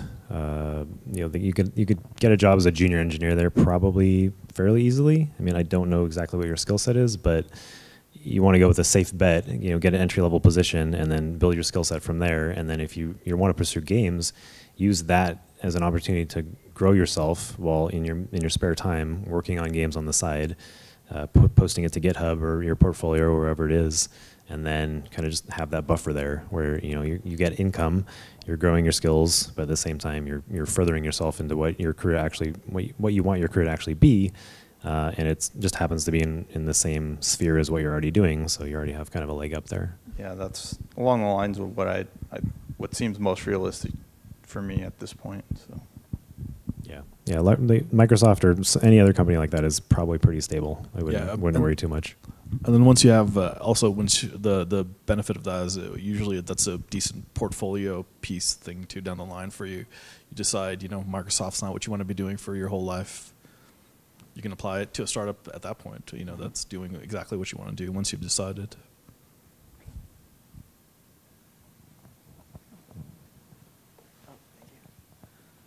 Um, uh, remember how you, uh, you guys were just talking about uh, startups like a good couple seconds ago? Um, and how you said, you know, you, we may not be able to pay you this much right now, but, you know, we'll just uh, compensate you like less than everyone else, I guess.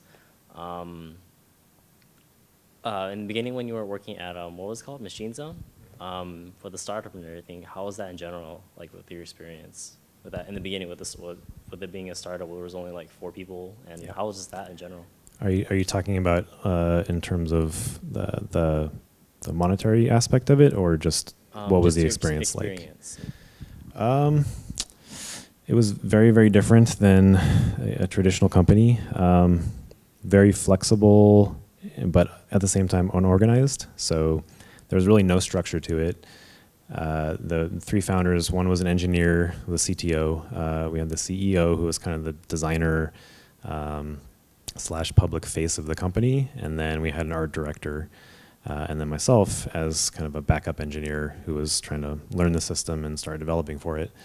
Um, so they had already created, uh, I think, one or two games before I joined. Um, a very simple, like text-based RPG game uh, on iOS, and they had wrote, written all the client code, all the server code, and I think they had hired some contractors before they brought me on to help them finish that. And so they were, they, my first uh, task as coming on board was to convert all the server code to be non-client authoritative, because basically the game was saying uh, oh, I just made this much money, uh, give it to me. And the server would say, okay, and, and give it to them. So people could just hack it super easily. So my first job was make it server authoritative so nobody could hack it anymore. Um, and so that led me to learn the server side of it, and then eventually I learned the client side of it. Um, but I was really kind of jumping around, uh, doing random tasks, putting out fires when things would break. I'd have to learn that system. Um, and that's, that's really what ended up causing kind of the 16 hour days all the time, uh, that sort of frantic work environment is there, there's no plan, there's no organization. It's just everything is happening out of reaction to something else because uh, we don't have customer support, we don't have an HR department, uh, we don't have anything that usually runs a company and structures a company. And so we're just talking amongst ourselves all day. Oh crap, this is breaking. Oh crap, this is breaking. Oh no, the users are complaining about this. We need to fix it. And so priorities shift all the time, and it's just it's like a tornado, and you just things are just flying around all over the place, and you're just trying to grab the most important thing at any given moment, and it goes on like that for a while, um, and that can be super exciting, but it can also be really frustrating and stressful, and uh, you know eventually you're drained after dealing with that for a long time. Um, so yeah, that's that's the best I can describe it. Definitely, thank you.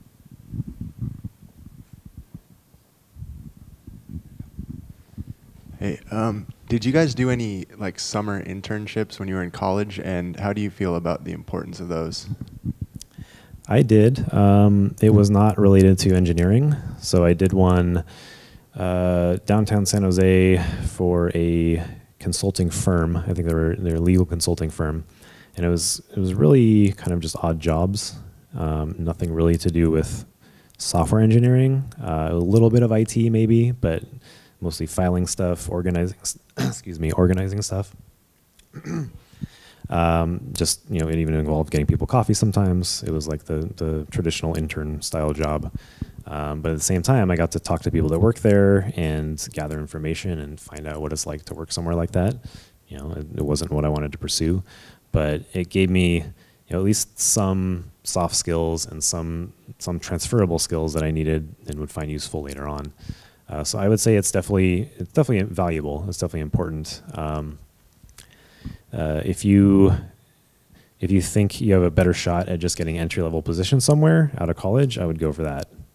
Uh, but if you aren't that confident and don't want to take the risk uh, of potentially not getting anything and just being hung out for a little bit, I would try for an internship. And there's plenty of them around here that you can check out if you uh, there should be some resource on campus, and unfortunately, I don't know of it. But I'm sure if you search around, there's re resources for internships or something you can look at for for Silicon Valley.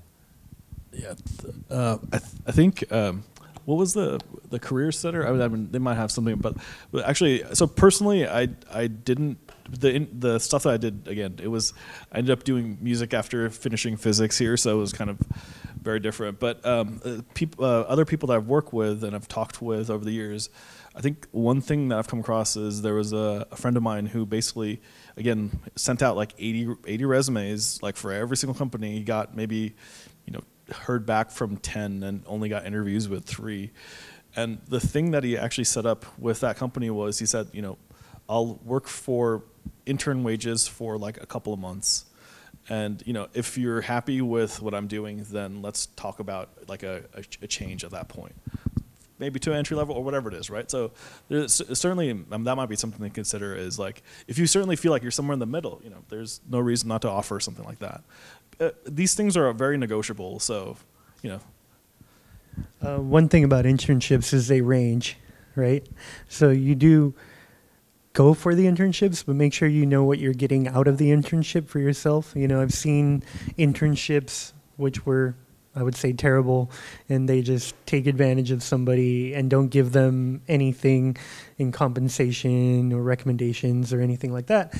And I've seen the opposite, which was a very structured internship, which paid very well and was very defined and had like end dates and things like that. You really do want those more structured ones because they know what you're doing and they're there to teach you and they want to drive you and bring you into the company.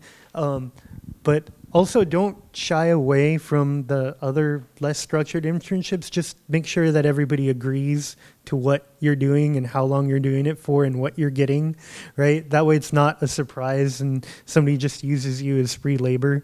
And most of the time, if you are do have a skill and you are giving them the skill like engineering, probably shouldn't be free for too long. Maybe not free for it at all. Um, but yeah, just uh, I would recommend them. Just be careful and you know talk everything th- through and make sure that the guidelines are set and the expectations are set. Yeah, and research industry rates uh, just by the different. That's so, so you know what you're what, what to expect.